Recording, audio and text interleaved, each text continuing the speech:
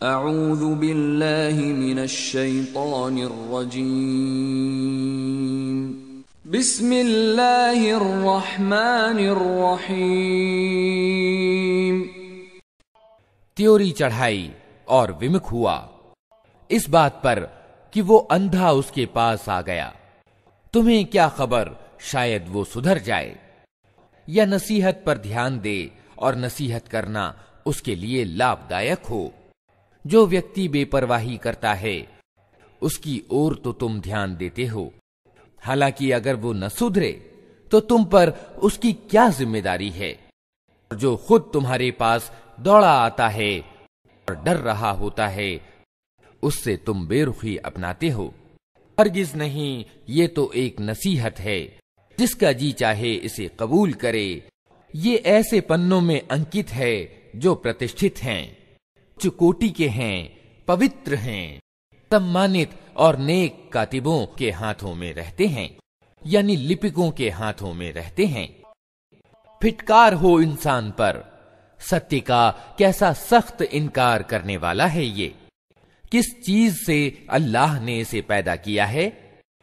वीरी की एक बूंद से अल्लाह ने इसे पैदा किया, फिर इसका भाग्य नियत किया।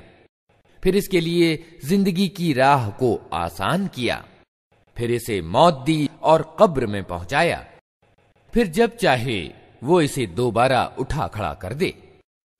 हरगिज नहीं, इसने वो कर्तव्य नहीं निभाया जिसका अल्लाह ने इसे आदेश दिया था। फिर तनिक इंसान अपने भोजन को देखे, हमने खूब जल लुंढाया, फिर ज़मीन को अजीब तरह से फाड़ा। और अंगूर और तरकारियाँ और जैतून और खजूरें और घने बाग और तरह तरह के फल और चारे तुम्हारे लिए और तुम्हारे मवेशियों के लिए जीवन सामग्री के रूप में। आखिरकार जब वो कान बहरे कर देने वाली आवाज़ ऊँची होगी, उस दिन आदमी अपने भाई से भागेगा और अपनी माँ और अपने बाप से और अपनी पत्नी और अपनी औलाद से।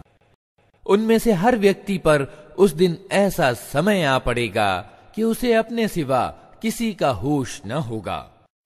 कुछ चेहरे उस दिन दमक रहे होंगे, प्रफुल्लित और प्रसन्न होंगे, और कुछ चेहरों पर उस दिन खाक उड़ रही होगी, और कलौस छाई हुई होगी।